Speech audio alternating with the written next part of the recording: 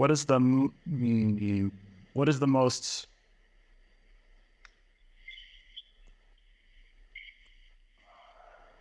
important thing? Uh, whatever. What last night I had this experience of the void, um, or what people call the void, uh, and it was uh, like beautiful, and I had all this fear around it, and then I went into it. Yeah, that's the problem. That's the problem. What's the solution? Discovering the problem.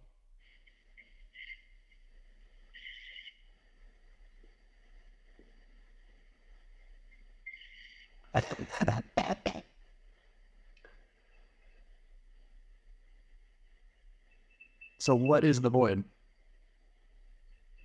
It's more instructive to find out what the problem is. And I can't. That was okay.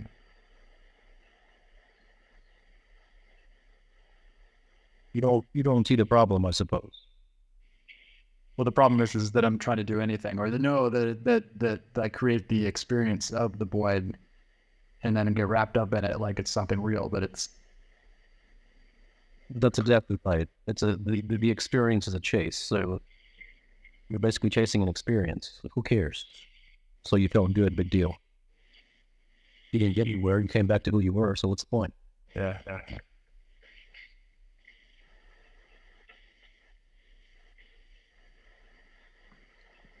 and that cycle I'm, it's getting faster for me so i'm picking up on it quicker yes i can see that that's all just an experience too absolutely any sort of judgment or any sort of um, scorecard keeping or any sort of recognition or evaluation of progress in a pleasure check it's all it's all one pleasure chase.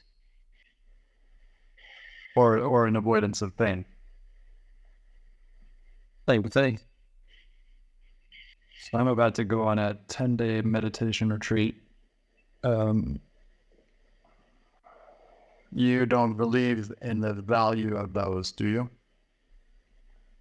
I mean, it doesn't matter what I believe. What matters where you are. It matters what level of understanding that a person has. It doesn't matter what I believe doesn't matter what everyone believes. It matters what is the truth. Have, has your understanding of the truth changed at all in the last month?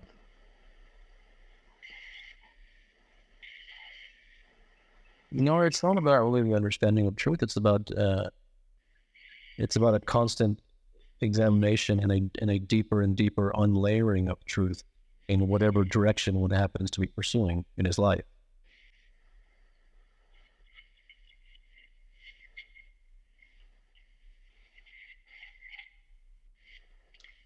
In my direction, my direction, getting to the root of the physical pain in my body, at least in the current moment.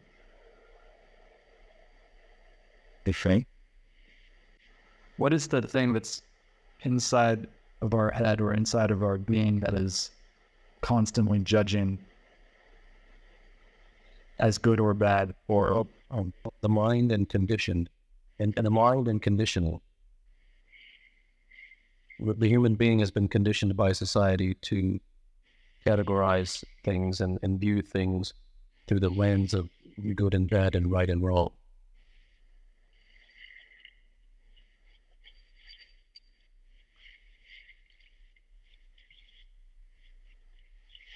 And to even give that up is again the paradoxical judgment of good and bad and now i'm being good because i'm well it depends it depends why someone would give it up if they're giving it up because they consider it good to give it up then that's more of the same if they if they give it up because they they see the superfluousness of it and they see that it is untruth then the, the giving it up happens all by itself but the conscious prescriptive effortful intentional giving up something is prescriptive.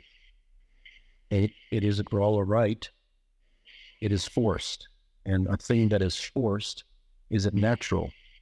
And it's like grabbing a snake from the tail when you get bitten from the side of the head. And if you grab at the other side, you know, you'll get, it'll wrap around from the tail. So it, it, there's always repercussions for things that are done out of force and prescription as opposed to understanding and naturalness and genuineness and inevitability and truth. So I can become aware of the thing that's offering the prescriptions, trying to do it. Sometimes I can become aware of it. Sometimes I am it. But then there's if I can look at it from another angle, so I can decenter and essentially be aware of all of that happening. What is that thing?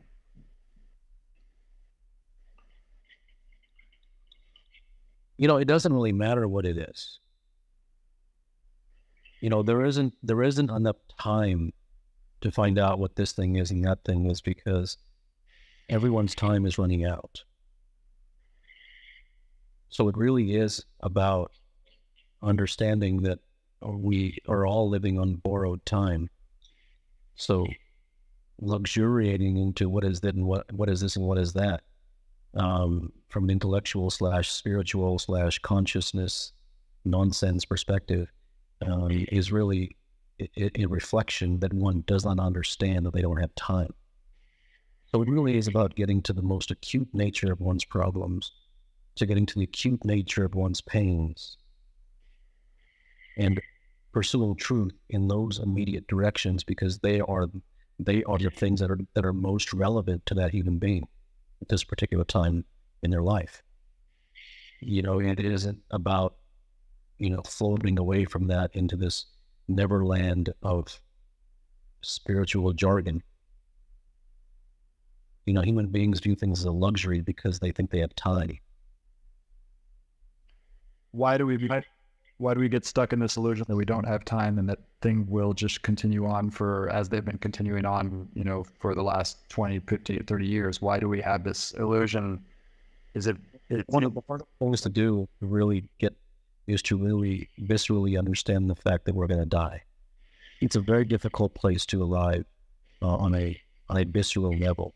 Uh, those who have near-death experiences, um, obviously for them it is easy because they actually experienced it. But short of something most immediate and in your face, um, the mind doesn't go there. And even if the mind does, the heart doesn't go there. So it is very instinctive to believe that because I had the day before, and because I had yesterday, and because I have today, then I will have tomorrow. When did you first get this visceral understanding of that you're going to die? Let's say, let's say what I said it was September 4th, 1979. Doesn't do anything. So you don't think there's any value to?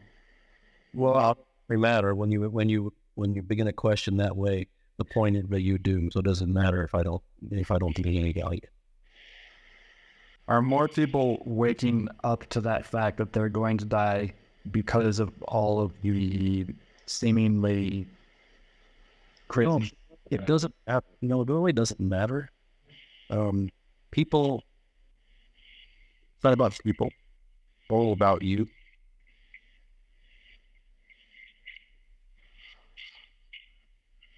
Thinking about the world, thinking about people and world peace and all these things are just avoidance.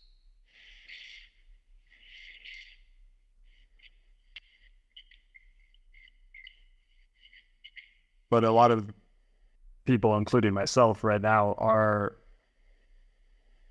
reading these things.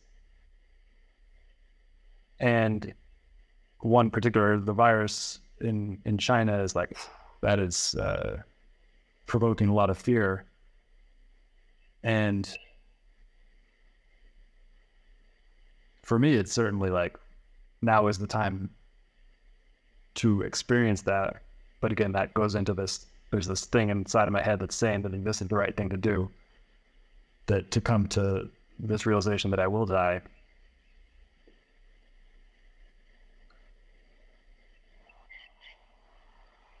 what's the question? seems like something's going on in terms of signals to wake up.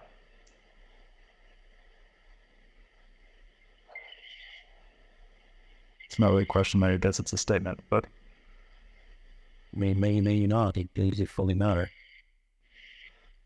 Because right now there's an opportunity to get to the truth of whatever I'm currently experiencing. Yeah, if you feel the opportunity, then the, the truth is uh, what you find yourself doing with the opportunity, with no with no compulsion to force yourself to do anything, and no judgment if you don't do anything. I have this I have this part of me that's essentially trying to deceive me.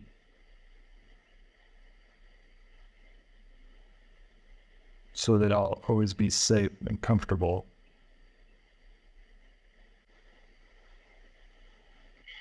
So I'm at a loss here because nothing was no no reason to talk at all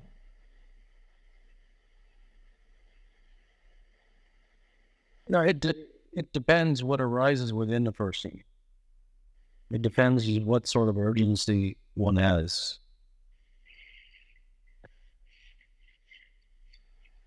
And the urgency right now is that I'm that we're recording this and we're going to publish it, and so this this nagging.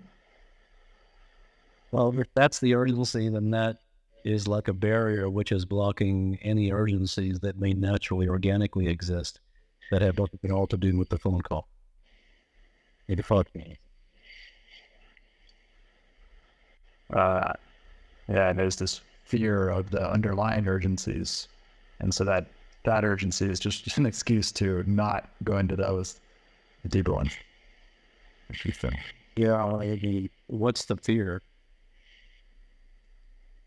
The fear that it won't be seen and the way that you'd like it to be seen, perhaps? Yeah, I will be able to control my cartoon, my persona. Uh, yeah. You know, that, that's sort of the imprisonment of self-image. That's that's it's it's a very heavy weight self-image. Where did it come from? Where did it come from? I mean, I, now I'm asking, answering that question, which is for myself. I was going to ask, where did this uh, magical fairyland illusion place that life is going to be great and uh, we'll all get to be happy forever come from, and then. Well, it's a natural. It's a, you know the the mind is habituated to search and to seek pleasure, and so and happiness is society's sanctioned form of pleasure. And spirituality jumps on board, and all the gurus of the whole gang, with their chanting and their meditations and their bells and whistles and incense come along you know, and then Dalai Lama gets on his pulpit and talks about happiness. And it's in the water, you know, everyone is sanctioned and everyone has the permission to seek happiness because it is believed to be the most uh, natural and fruitful pursuit. And it is actually the, it, it's, it's the forbidden fruit. It, it's, it's the way to pain. or that is a very, very foreign concept. That you know, in I guess from from my work, it's you know one of many foreign concepts, which is no surprise. Um, both the, the, traditional ways of going about things uh, are all very unnatural. They are all societal. They're all manufactured. They have no basis in reality or truth and that's what leads to pain and that's what leads to frustration and anxiety and sorrow and all of these things that people are trying to get away from it's false false, false i'm sorry? A false expectation of happiness. Well the belief in happiness as being something that will actually fulfill me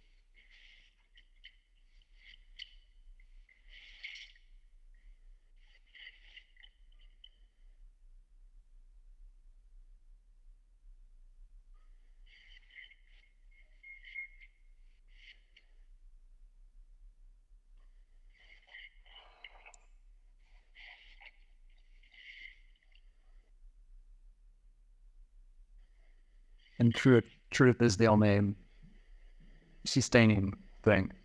Well, truth is the only thing there is. There is nothing else. What else can there be besides truth?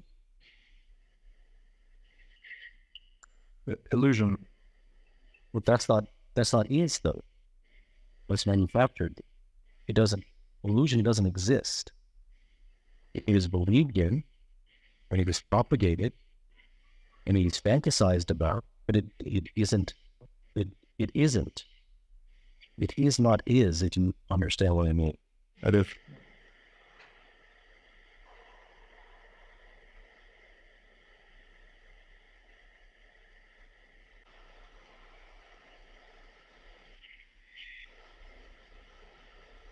So I don't really have anything to say. Um, nothing that is arising me. It's like, Well, the curious thing is, in other podcasts, do you have things to say? yeah, but I I know which questions you're gonna say that's a bullshit question to, and most of the questions that are coming up right now are bullshit questions. Okay, so then why in other podcasts you how do you reconcile that? What do you think is the truth? Or why other podcasts you have things to say and in in these particular podcasts you don't. because well i think there's a certain amount of social compulsion that most people have in order to fill the silence which obviously you don't um, and so that social compulsion brings out something to be said and yes i agree that a lot of those things that are said are bullshit um, but it's entertaining intellectually and i like to be entertained intellectually um, So then you do you do those other podcasts is that from the standpoint of entertainment, of intellectualization? What what is it that you gain from those other podcasts? building Not not gain anything from this podcast, but what is it that you gain from that? Well, that that is it's like I'm building a tapestry of abstract concepts that allow me to understand the uh, the where we are right now, like where we are as a humanity, where we are as a species, where we're going, trying to get understanding. Feel that that is an escape from the most pressing questions of your own life, or do you? In some ways, it's an escape, but sometimes I do come upon some gems from from from that.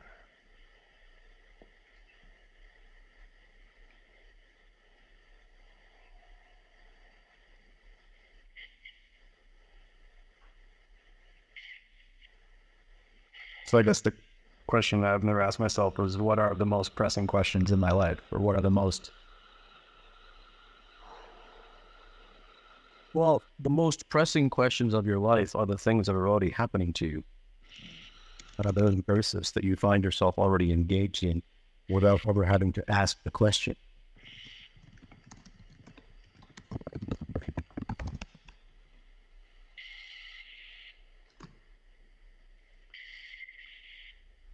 But that's the thing that's for some reason and i can't explain it that's why i'm doing these podcasts is is it just fills me up in a way that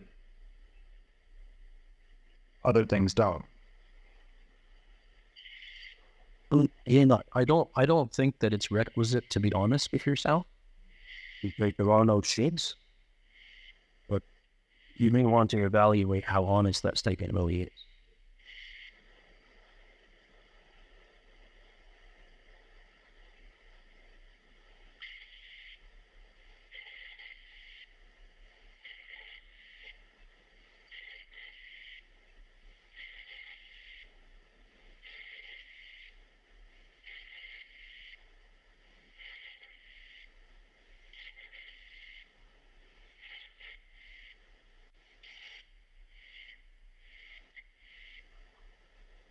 that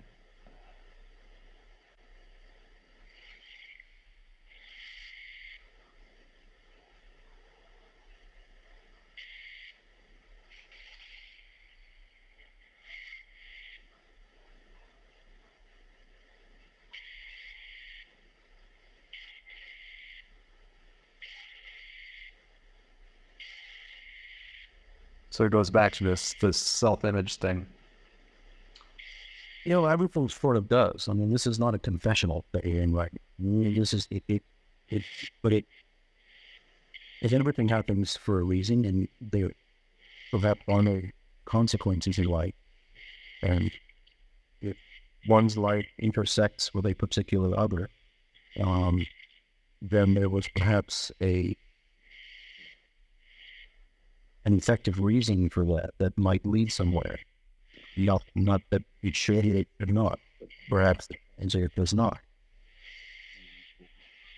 But yeah, but to go on chases, uh, human beings go on chases, and and and well, you know, in the West they're very intellectual, in the East they're very rote and by the book. You know, each has has his own imprisonment, and um, you know, the in the West in Silicon Valley that they like to, you know, they they like to, um, you know, intellectualization is a is a is a very uh, popular medium. You know, how many books did you read, and did you read about Stoicism, and do you practice mindfulness, and how many minutes of meditation did you do, and how many retreats did you go on? You know, all of sort of silly nonsense, um, because it's considered cultured and proper and progressive, and uh, it, it, as if it's some form of a, you know, achievement, and so that's an imprisonment of its own, and the the you, you know, giving oneself the false uh, impression of movement or progress mm-hmm. through the vehicle of of intellectualization and talking to people about concepts uh, and, and and theories and consciousness and all of this jargon that doesn't do anything for anyone. Um, and it really is about human being becoming real and becoming true and it's very uh, you know, what is it that I want out of life and what are my chases and where am I going? And, and you know, it's about becoming honest and then not, not with absolutely no compulsion that, that that's good.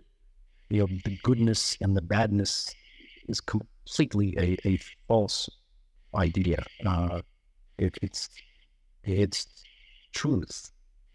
And truth is not spirituality. Spirituality is untruth. Truth is, is it has no denomination. It just is. And that, and that, and that reflects one's DNA. It reflects um, the sort of nature of one's nature. When I ask myself that question, what is it that I truly want? That is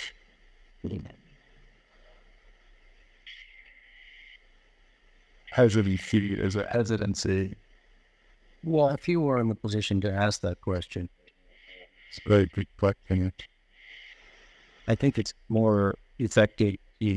Perhaps let's see, you know, what are the empty chases that I'm, yeah, please, the, that's but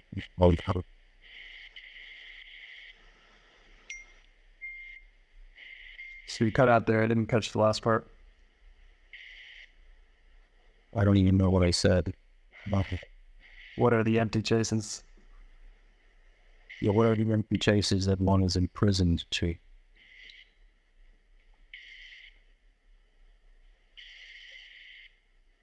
But I mean, in a sense, everything is an empty chase. No, it's not. Every, everything that is from and out of the mind is an empty chase. Anything that is societal, anything that is spiritual, anything that is intellectual.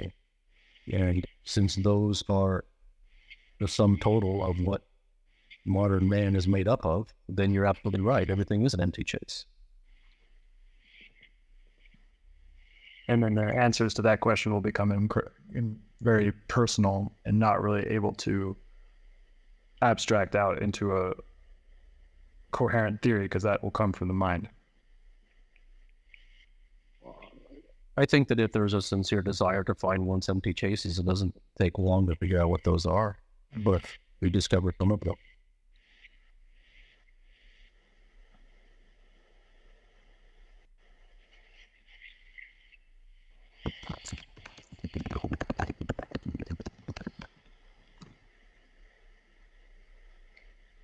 Ah, I found one.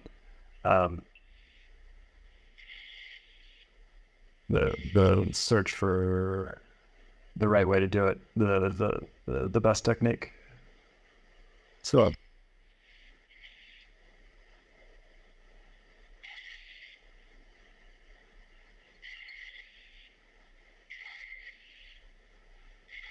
unless you you believe that technique actually gets you somewhere.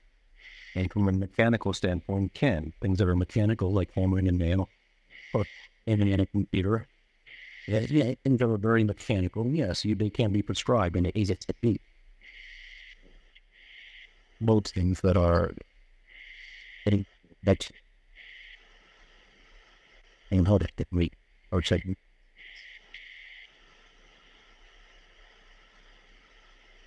So I think our connection is getting um, getting bad here.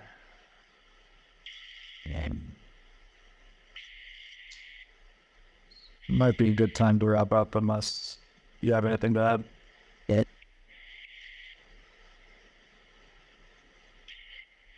Yeah, I can't hear Okay. All right. Thank you.